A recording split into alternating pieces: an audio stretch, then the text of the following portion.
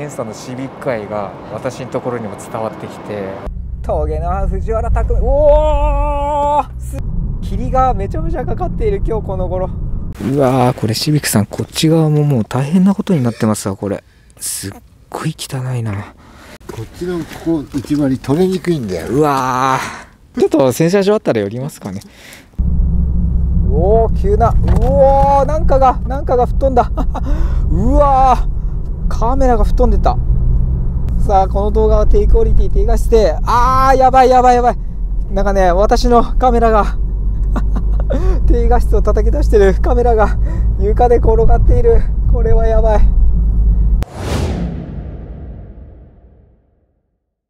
この辺りがどういう地名になるのかな。なんか東三河ふるさと公園って書いてありますよ。これ閉鎖してんのか？いや閉鎖はしてないか。あっとここで犬がぼーっとしておりました。あー楽しかった。お S2000 っぽい。いや違うロードスターだ。あややえーってやればよかったな。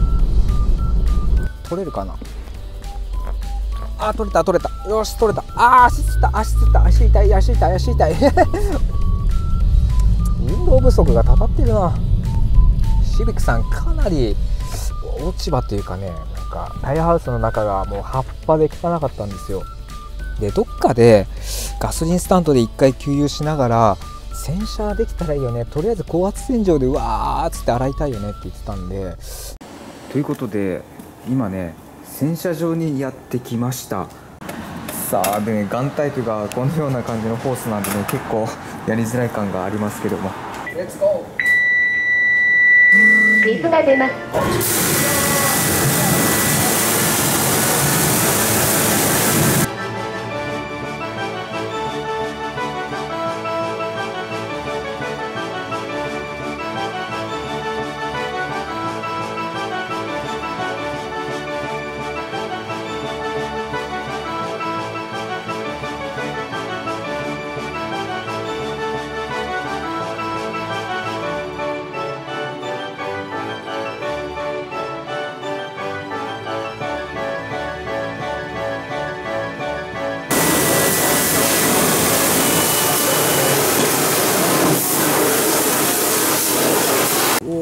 ああでもまだ少し残ってるな。残ってるけどまあだいぶ落ちたんじゃないですか。なかなかいい感じだとは思いますよ。でねこっちの汚いやつも全部弾き飛ばしましたからね。ああよかったよかったっていう感じ 綺麗になったね。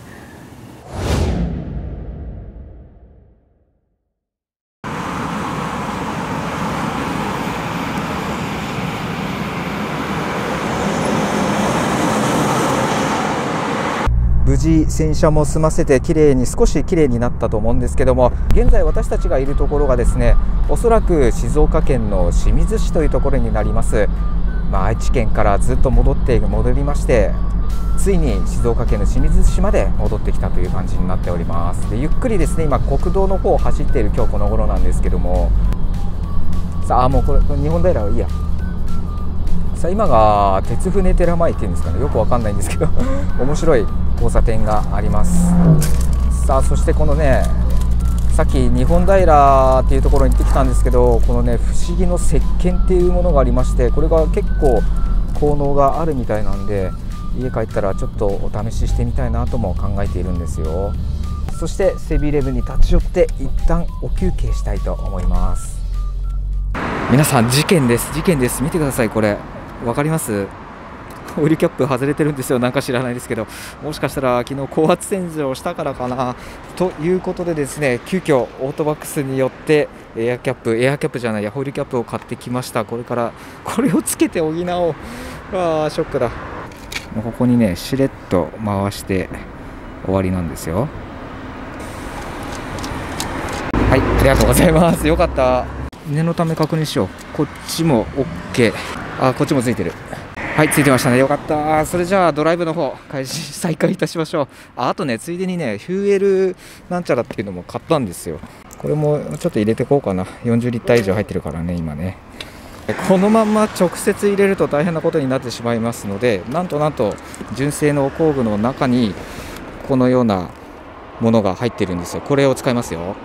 そして簡単にポコってしかもあのオートバックス商品一押しみたいなことで書いてあって値段が960円でしたよ。よいしょ。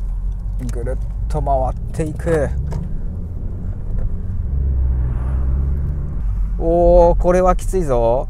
この路駐して対向車がいるっていうすり抜けが一番大変でございますね。おお車がっていうか人が。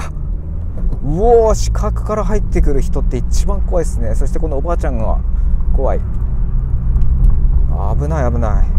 ここが新清水駅の近くみたいな感じらしいですよ。何線なんだろう。まさかこれが東海道本線のわけがないですよね。片側1車線の伏線になっているから何線だろう。お電車がいるんですけど何線なんだろうね。なんか静岡の特有のローカル鉄道的な感じなのかな。でもう一個踏切がありますよ。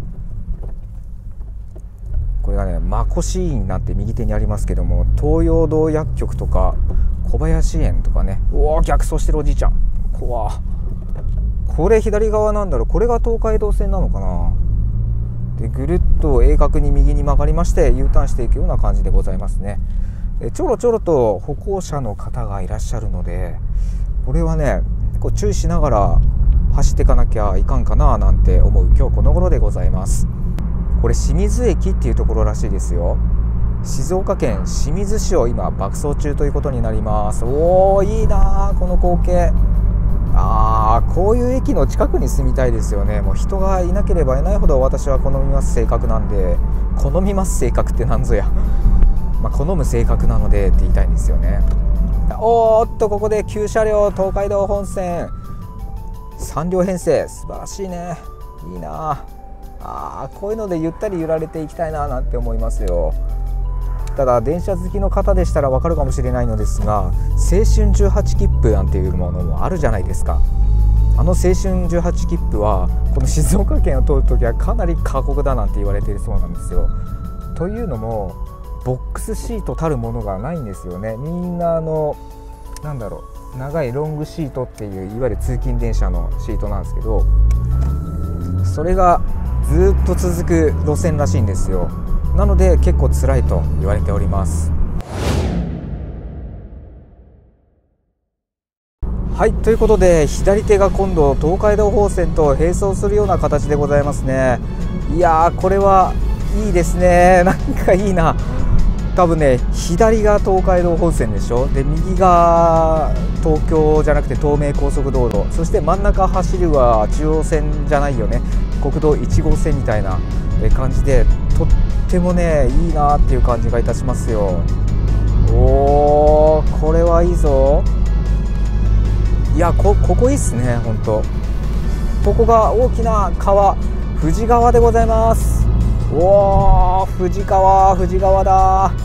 多分これ左前方方向とか左手の方に富士山がね綺麗に見えたりとかするんですよねきっと。ただ残念ながら。いやー見たかったな。うわー道の駅めっちゃ混んでますよ。うわーすごい。これ止められないんじゃないの？トラックもねいい感じで止まってますしね。対向車線もすごいですね。新富士駅からどんどんどんどん車が突っ込んできますけどもみんなあのアンダー出して滑んないのかな？左曲がれよなんてね怒ってますよ。恋が走り出したら新幹線通らなかったよっつって。側道に走るのか？さあどこに行くんでしょうか？私はですねナビをセットしておりません。全部吉本さん任せのルートなんですよ。東海道新幹線の高架下をくぐっていきますと。おお大きな竹千代一律化が左手。あ左だ。富士山子どもの国14.2キロ。富士山子どもの国？これもいやなんかね聞き覚えがあるぞ。元住道とか富士五湖巡りした時に確かね行きで通ったな。あのサファリパークとか近くにあるところだと思うんですけどそれかな。めちゃくちゃ富士山が綺麗で映えたんですよね。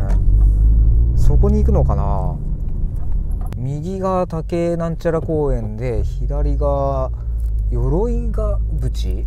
で斜め右方向が富士山子どもの国方面。あっとここで予告。通行止め？でも予告行き止めみたいな書いてないですけどえ通行止めなのかな？いやー多分ね違うと思うんだよな。あれはね行けるはずだと思いますよ。多分ねここの区間だけだと思うんですよ。急な坂でございますよ。竹千代 D みたいな。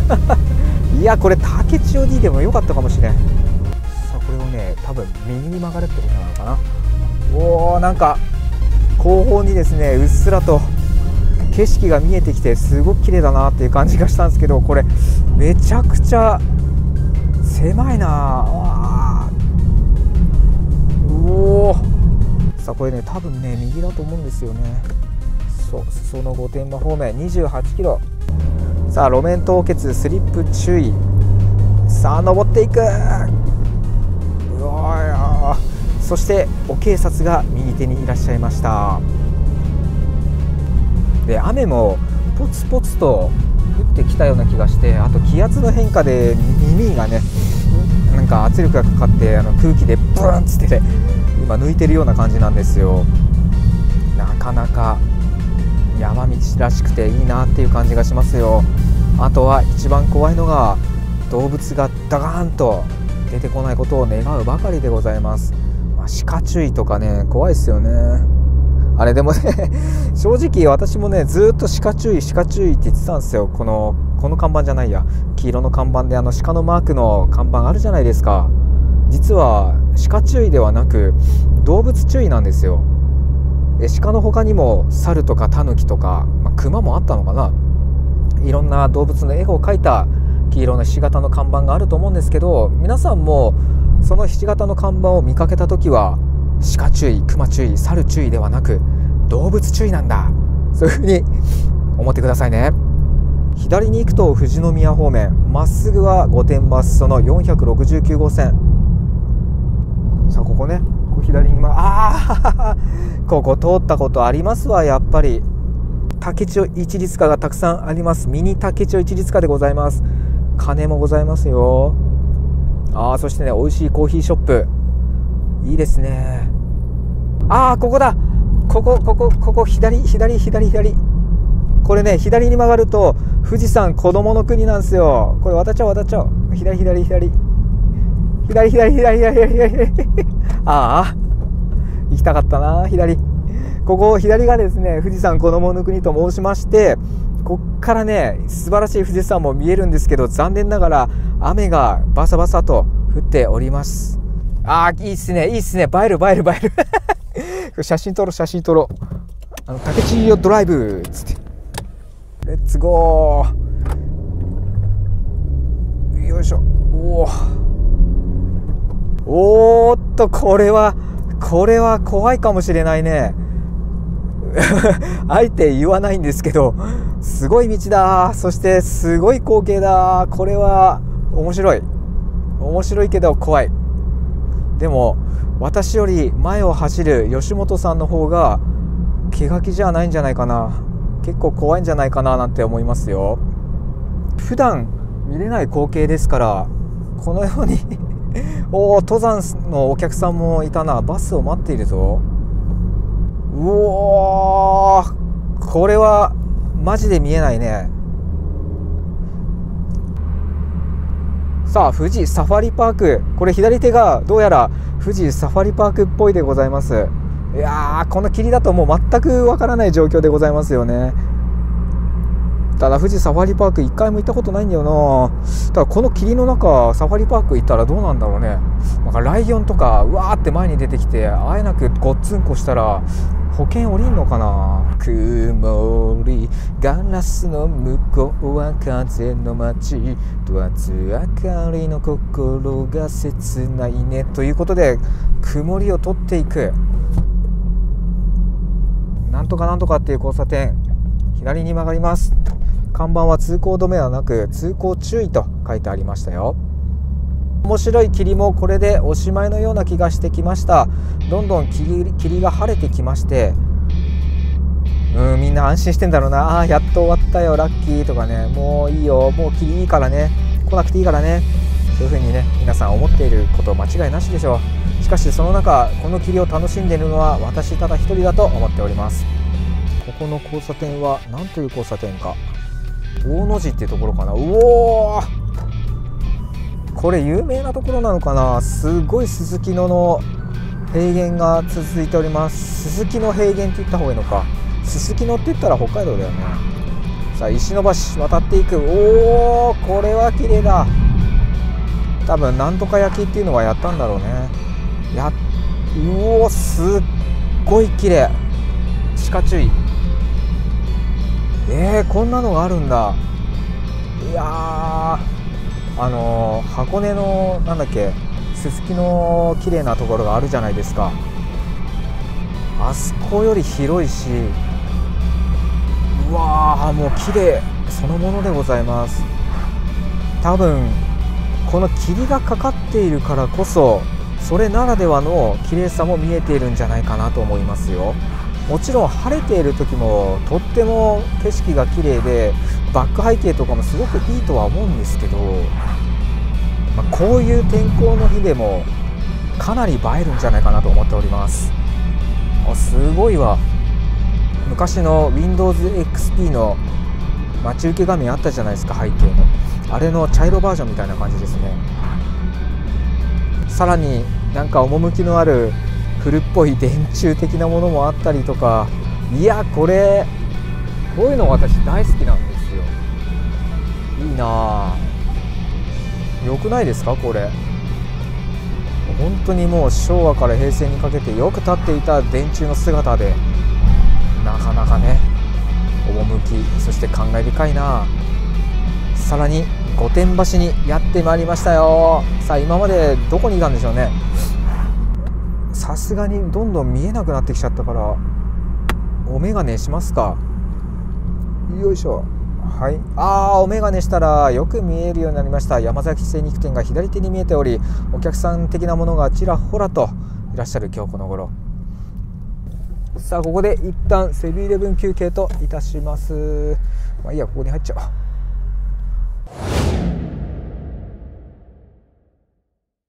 今ね吉本さんねうんこしてるんですけど戻ってきたらね霧どうでしたって聞いてみましょうか。あ来た来た来た来た。来た来た来た来た来た。吉本さん来たよ。ほら吉本さん来た。霧どうでした？霧おや。さあバックオーライこうわ怖えな。ぶつかるな。フロントがぶつかるんですよ。なんなんていう迂回の仕方をしたんだっていう感じですけどね。よいしょ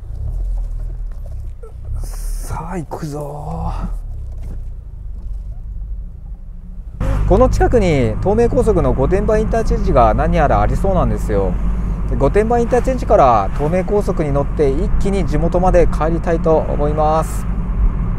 さあ皆様御殿場インターにたどり着きました。現在の時刻15時51分でございます。おそらくセブンイレブンを出て15分から20分ぐらいかかったかなっていうイメージでございます。ということは少しだけ渋滞はまる可能性もなからずにありきみたいなあれ？あのああるかもしれません。渋滞にはまるのかはまらないのか。さあ次のシーンで答えはこちら。はい。現在の時刻16時29分。今いるところがですね神奈川県の海老名市海老名サービスエリアの近くでございます。入り口付近なんですけどもやっぱり渋滞しちゃいましたね。予想通りの展開でございました、まあ予想通りの展開っていうのもおかしいんですけどまあ、おそらくちょっと渋滞はまるんじゃないかなと思っていたらですねやっぱりはまりましたよ。嬉しいな。ラッキー。これから楽しい楽しい。渋滞のお時間ということになります。みたいな。ああ。でもねこの渋滞がだいたい10分ぐらいで抜けるような見込みなんですよ。そなのでそこまでめちゃくちゃハマるってことはなさそうですよ。さあ何分後に抜けるのか非常に楽しみです。皆さんこんばんは。今日の時刻は16時41分を回りました。まあ、約やっぱり10分そこそこはまっているっていう感じなんですけどそろそろ渋滞に抜けそうな今日この頃。今いるところがですね大和トンネルの近くでございます。ひょっとすると今渋滞情報で大和線大和トンネルを先頭に約何分渋滞しておりますっていう情報が流れているのかもしれません。さあ流れが良くなってまいりましたよ。おそらくこれで渋滞が終わりかと思われます。いやー楽しかった。たった10分なんですけどもねもう余裕のない人たちがもう縦横無尽にねあの車線変更してるんですよ。もうほんと滑稽な姿で笑っちゃいましたけどもね。いやー渋滞を楽しむ人間としてはねこういう状況を見るのが一番面白いなと感じてしまいます。